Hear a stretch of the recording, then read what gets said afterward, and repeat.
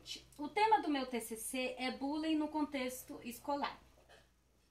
Meu nome é Jaísa Batista Magalhães.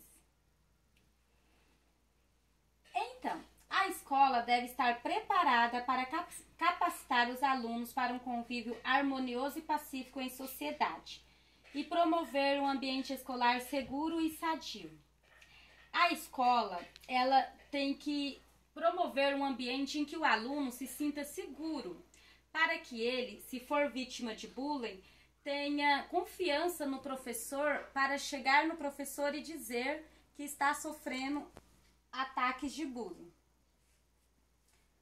A metodologia do meu trabalho possui caráter quantitativo, do tipo bibliográfico e pesquisa pela internet.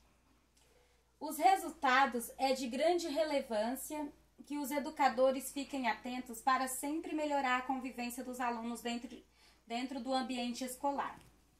Nós, como professores, temos o dever de ficar sempre com um olhar atento àquele aluno que talvez possa estar sofrendo bullying para que a gente possa intervir da maneira mais correta.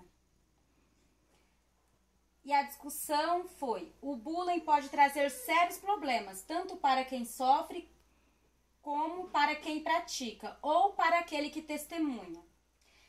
Até aquele que testemunha uma forma de bullying também é, pode ser que ele seja afetado, tanto psicolo, psicologicamente como por caráter, porque ele pode pensar. Se ele pode fazer bullying, eu também posso praticar, que não vai dar nada, porque ele nunca é pego. A conclusão que eu cheguei é que extinguir o bullying escolar é um grande desafio, tanto para os educadores como para os pais, até mesmo para os alunos.